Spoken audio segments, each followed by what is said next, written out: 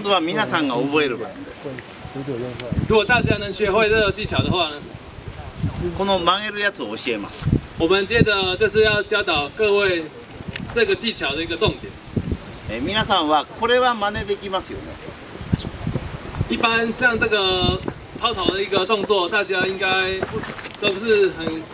很快可以理解的。これはできますね这个动作相信大家都会哦。じゃないですよこれを離します这是晃动钓竿制造出它的反发力之后，然后轻轻的放开钓钓线，让它出现，就就可以做一个很远的一个抛投动作。次は竿を曲げます然后请注意，现在钓竿那个抛投出去，它会做一个微，这是 角度控制一个动作。它这个动作是在闪躲障碍物时会，就是透过拉动钓线，然后让它的路亚的弹道改变。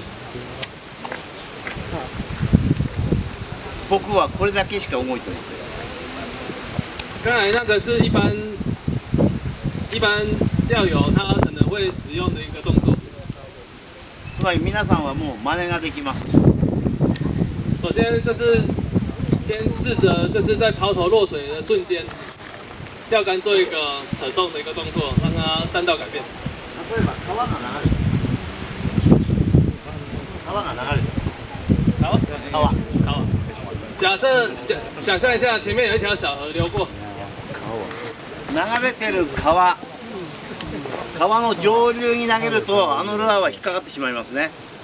就是你抛过超过那个河的话，那丢到对对岸去就是卡住了。だから川の上流に落とすんです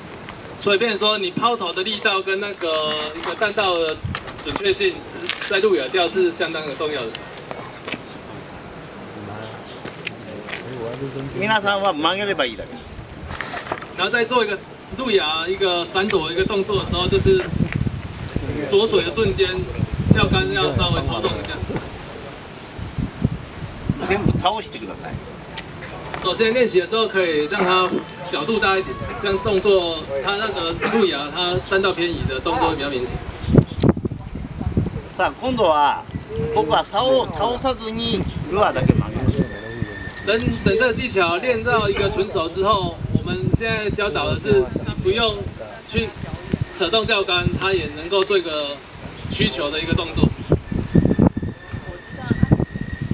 大家可以看竿尾的地方，其实并没有做太大晃动，但是它的